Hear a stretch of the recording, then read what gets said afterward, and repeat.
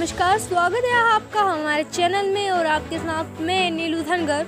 और बड़ी खबर आ रही है कि मध्य प्रदेश के राजगढ़ ज़िले के नरसिंहगढ़ जनपद पंचायत से ग्राम पंचायत झाड़ला में शमशान के नाम पर कबाड़, क्षतिग्रस्त चबूतरा और आधे अधूरे व टूटे फूटे तीन शेड। पूरा देश बदल गया, लेकिन इस गाँव का शांति धाम नहीं बदला। इस गाँव में मुर्दे को नसीब नहीं होता है, शमशान घाट। राजगढ़ ज़िले के नरसिंहगढ़ जनपद पंचायत के तहत आने वाली ग्राम पंचायत झाड़ला में शमशान के नाम पर कबाड़, क्षतिग्रस्त चबूतरा और आधे अधूरे व टूटे फूटे तीन शेड। बारिश की बौछारों के बीच कई घंटे लगे शव को जलाने में। इधर सोमवार सुबह ग्राम झाड़ला निवासी पत्रकार देवी सिंह राठौर के छोटे भाई हेमंत कुमार, पिता बद्रीलाल राठौर की गाँव के पास खेत पर पशुओं को पानी पिलाने जाते समय रास्ते में तार फैसे में करंट लग जाने से मौके पर ही मौत हो गई थी। इधर परिजनों द्वारा हेमंत राठौर के शव का पोस्टमार्टम नरसिंहगढ़ सिविल अस्पताल में कराया गया। उसकी लाश को गाँव में लाया गया। यहाँ सोमवार को उसे जलाने ले गए।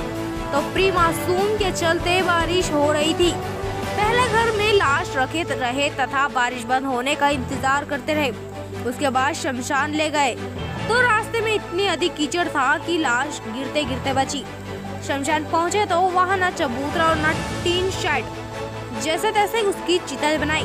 कंडे वाली लकड़ियाँ बारिश में गीले हो चुके थे, लिहाजा काफ़ी समय लाश जलने में लगे। यहाँ बता दें कि यह अकेले एक दिन की कहानी नहीं है। हर उस दिन की परेशानी है जब कोई मरता है तो उसके मरने के दुख के साथ सबसे बड़ी चिंता उसकी लाश को जलाने की होती है। कारण शमशान के नाम पर कबाड़ है। गाँव वालों ने बताया कि मृतक हेमंत कुमार राठौर की जब शव यात्रा गाँव के शमशान लेकर गए तो बड़ी परेशानी के बीच पहुँचे। बताया जा रहा है, गाँव में शमशान घाट तक पक्की सड़क तो दूर की बात है, लेकिन आज तक मूरन भी नहीं डाला गया।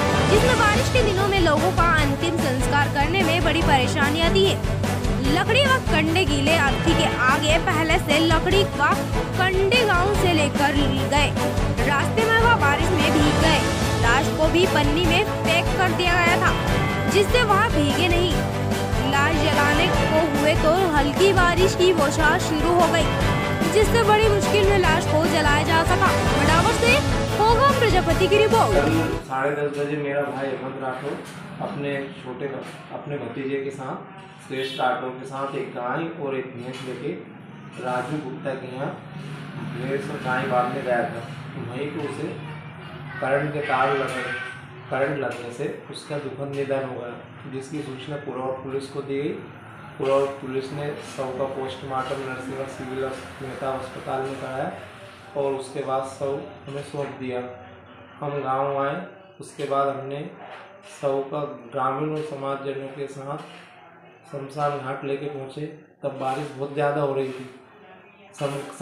ऐसी स्थिति में शमशान घाट पर ना तो कोई टीन सेट है ठीक से, और ना ही शमशान घाट तक गाँव से रास्ता है। बहुत भारी मात्रा में कीचड़ था और शमशान घाट पर पूरा सेट नहीं होने के कारण शमशान घाट पे आपातकाल स्थिति में चद्दर चढ़ाकर अंतिम संस्कार किया गया। कई बार शासन की योजनाओं द्वारा शमशान घाट के को बनवाने के लिए ग्राम वालों ने कहा, लेकिन शासन की विभिन्न योजनाओं से शमशान घाट नहीं बन सका, जिससे कि मशक्क़त में, काफ़ी मशक्क़त के बाद आखिर में अंतिम संस्कार किया गया। शमशान घाट तक ठीक से कोई रास्ता नहीं है और रास्ते के बाद जाने तक की कोई भी व्यवस्था नहीं है ना ही कोई सेट बने हैं ना ही चबूतरे बने हैं।